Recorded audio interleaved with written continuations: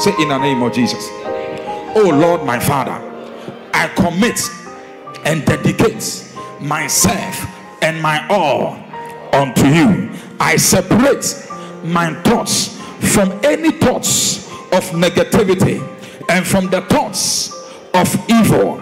In the name of Jesus, I separate my heart from any deception and lies that will take away the word of God and the will of God from my life. I declare I am anointed for signs and wonders in the name of Jesus. I am anointed for exploits and to express the glory of the Lord in the name of Jesus.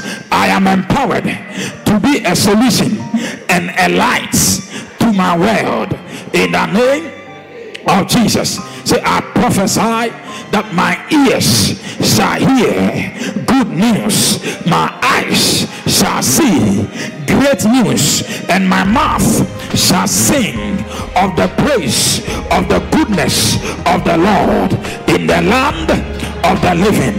In the name of Jesus, in the name of Jesus, in the mighty name of Jesus, give the Lord a celebration in the house.